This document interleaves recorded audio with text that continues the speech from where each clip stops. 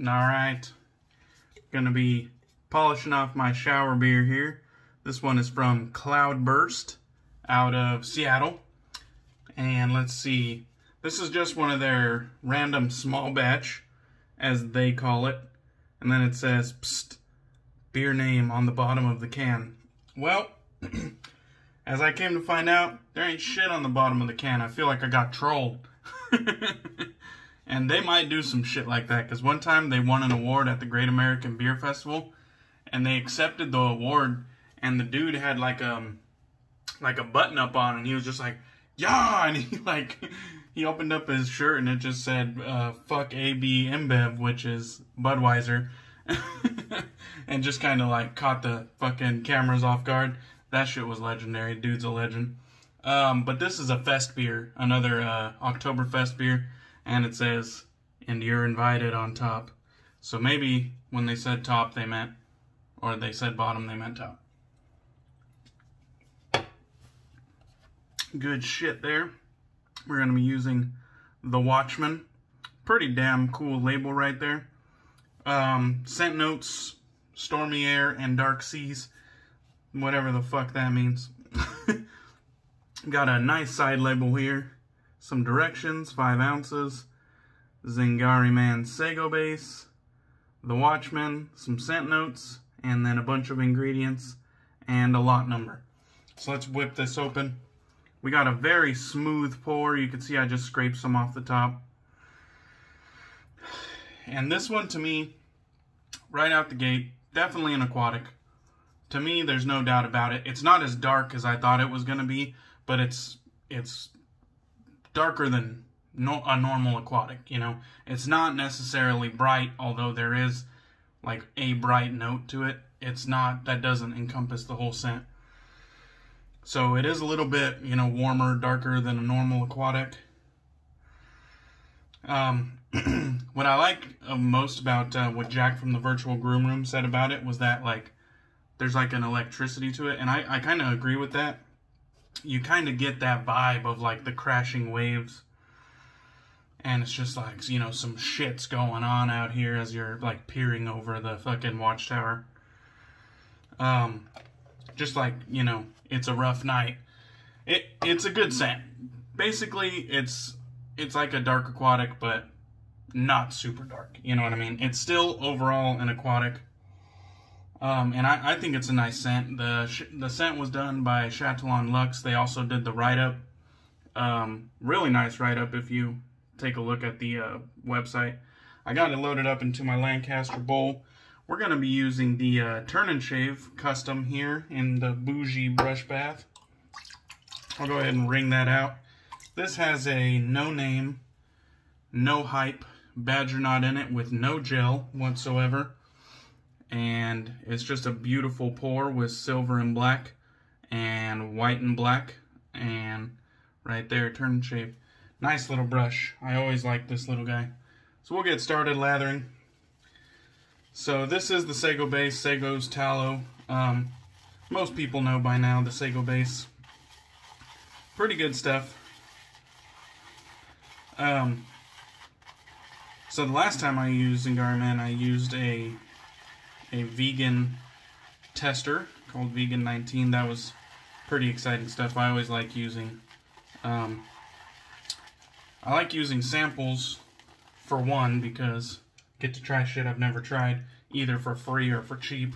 I'm always a big proponent of that shit. But, um, I'm a big fan of trying new shit too, like getting to a sample an unreleased base or or being in somewhere in the works and giving feedback on on a base that could be or a building block to a better base. That shit's kind of cool for me. Um, like I said, like I have my as above, so below stuff going on.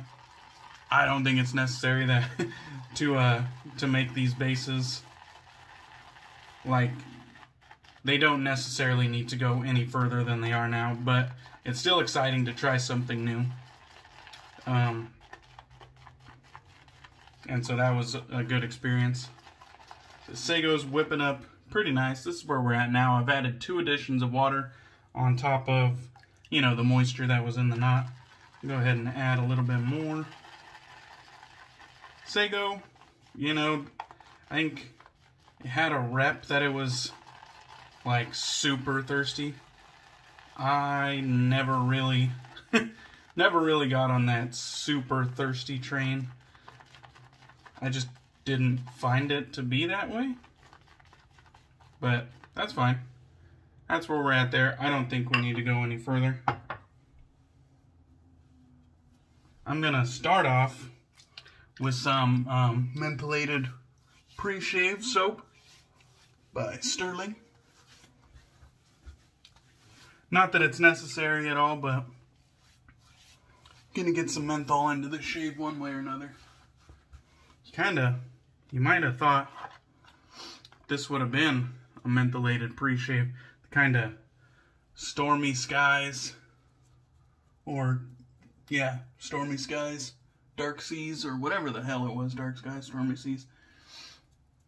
I think it might have uh, might have been mentholated in another another version or something.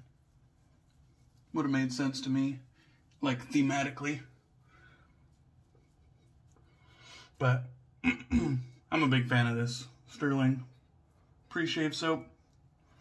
It just adds like the slightest bit of cooling. So nothing crazy. Just get a little bit on there. Just get like low level cooling going. And I'm just getting it worked in with a little bit of moisture on my hands because I don't want that layer of of soap to uh, sit, you know, as a barrier between the skin. I want it to get worked in so that it actually aids the shave. Sorry, drop my towel. Anyhow, let's get to lathering. So here we are right there. That's what we got so far. Looks pretty good. I found Sago to be pretty good. Pretty good base. I enjoyed it a lot. It has whipped up nicely into a dense lather. I've never had a problem with the performance on Sago.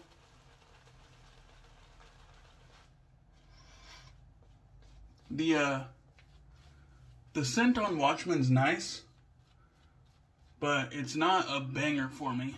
It's just kind of, it's good but not great. I enjoy it. I feel like this is something that would, would be up my alley. But somehow it just doesn't capture, in my mind, like it doesn't capture dark seas and stormy skies to the fullest. Um, I think they did a good job, but I just feel like like the description and the scent don't exactly match up in my book. And that's, you know, that's just me. It's it's totally fine. But I think it's a good scent. I think a lot of people will enjoy it. It just doesn't um it's not blowing me away.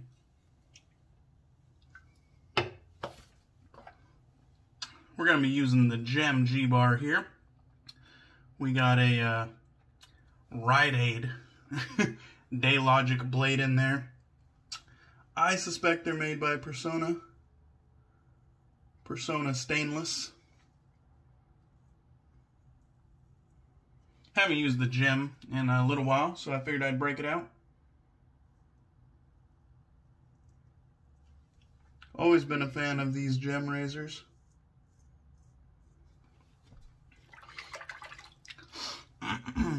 Never had a problem with the performance of Sago, like I said before.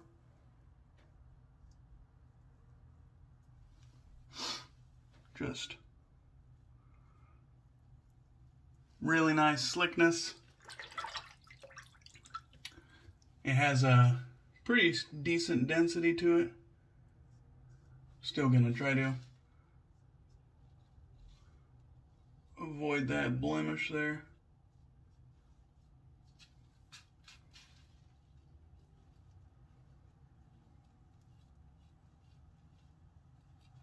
The Sago base, at least this one, was pretty soft. I mean, so soft if somebody told me it was a cream, I'd have been like, yeah. like, like if I wanted to just press my finger in there and scoop some out, I could have no problem. like I didn't even need my sample spoon if I, like if I didn't want to. Because it was smooth and like it was very, very creamy.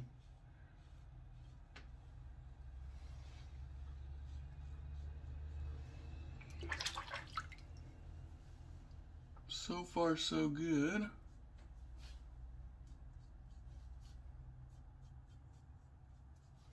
Alright. Smooth first pass there. The scent strength on this um, Watchman, it's funny because I was a bit skeptical. And I had a number of people that I know and trust, and they told me, oh, it's bold, it's banging. Uh, this one's definitely higher than the other stuff. And I was like, all right, all right, you're hyping me up. Wrong. I was like, nah, it's just about medium. I was like, you're not fucking, not blowing me away, not banging. It's like, fucking bummer. But, uh, at least it's medium and medium is industry standard, so I can live with that. But definitely got lied to. I don't think this is bold and banging. I think this is medium.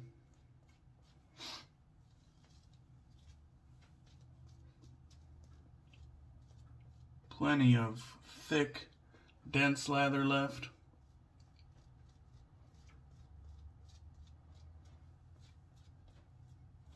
Just really good looking lather, kind of like that uh, Storybook Soapworks I used yesterday. That was another really good looking lather. I'll probably wet the tips and kind of paint in a little bit more. Oh yeah. We good, we golden. so here we go against the grain.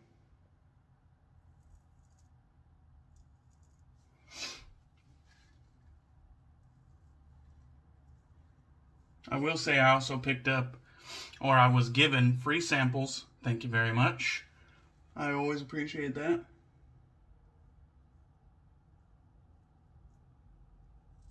I was given free samples with my order of Watchmen for the Socialite and the Gatherer, and both of those were really nice.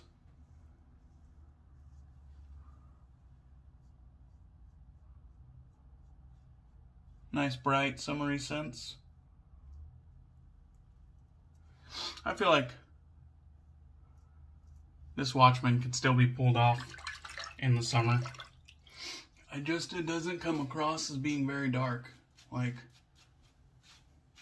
it's darker than a typical aquatic, but it's still not, like, really dark.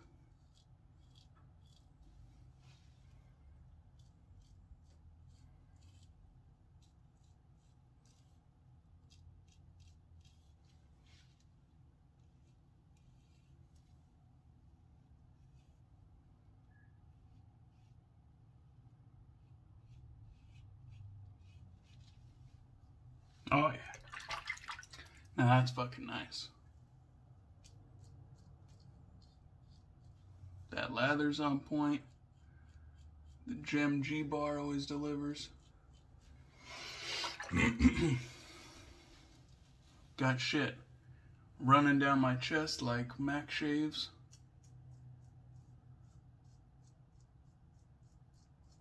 That's when you know it's good, he said. You guys haven't checked out Mac, Mac Shaves, should definitely give him a shot here on YouTube. He, uh, just starting out and making some really good content. I've been enjoying it. All right, I think that did it. I think we pretty much busted out a flawless shave with the Gem G bar and the uh, Sago base here. I could probably get another pass with just this trapped leather that's in my beard. All right. Let's go ahead and wipe all this shit down.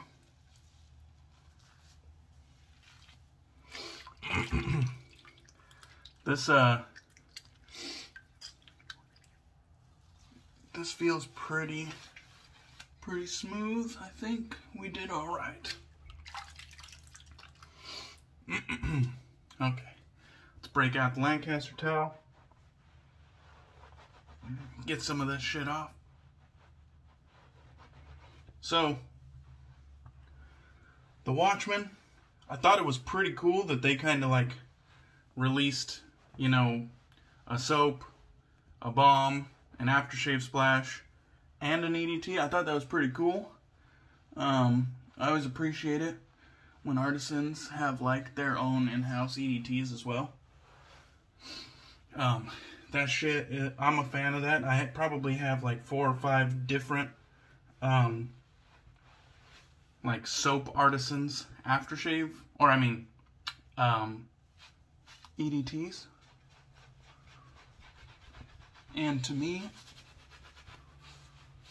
they're usually, or actually, I'm batting 100. They're all a pretty fucking great value. They bring a nice scent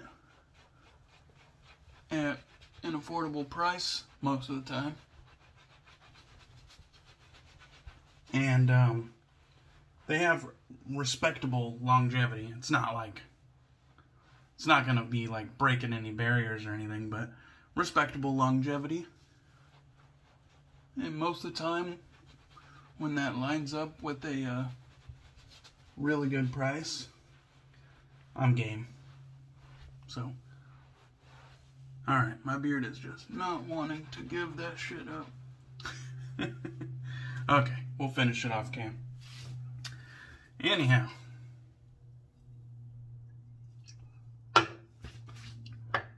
So I thought that was pretty cool. They offered the EDP. I didn't pick it up because I was unsure about the scent. I was really excited for the scent, but uh, can never be too sure. I don't like flopping. I don't like getting something I don't like. So here's the aftershave splash. This is, you know, kind of white and milky. It is like a frosted glass, but it's it's still a uh, white and milky aftershave. Some right here for the neck.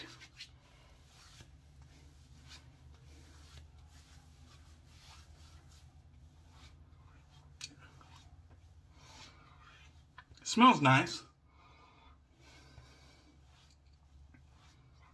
It smells good. It's a little different, but not much.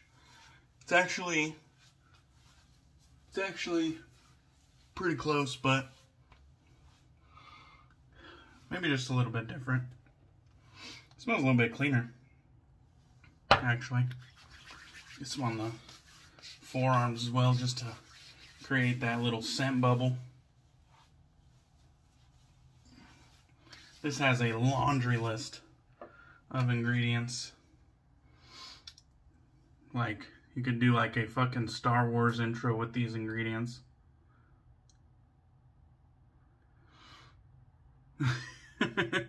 so it better be good stuff. I've never tried it pre until now.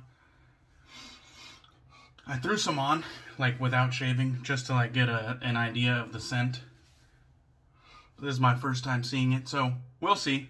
Too early to talk about how it is, but it has a laundry list of ingredients, so I'm sure it'll be decent. Um, so yeah, The Watchmen. Sago base, good shit. the Watchmen scent, good shit. Um, wasn't an ultra banger for me, but it was like, it was good. And I, I really dig the artwork though. I think that's fucking, I think that's pretty badass. But, um, yeah, the scent, it's good. It's good. Use the Gem G bar with what I'm guessing is a Personna stainless blade. It's just sold through Rite Aid. Uh, we also used some Stirling mentholated pre-shave soap. Definitely did good. The matching aftershave splash. Happy that Zingari Man's finally offering aftershave splashes. Been doing it for a little while now, though. Um, we got the Lancaster Bowl and my Turn N Shave Custom with the no hype whatsoever knot on top. And we fucking busted out a nice shave, had a nice lather. Very clean, very close. Good shit. So, I think that'll do it. I think we got a nice recap. We got some Cloudburst. We'll finish where we started. Cheers, guys. I hope you enjoyed this one. Um, and, yeah. Thanks for the support. I'll catch you on the next one.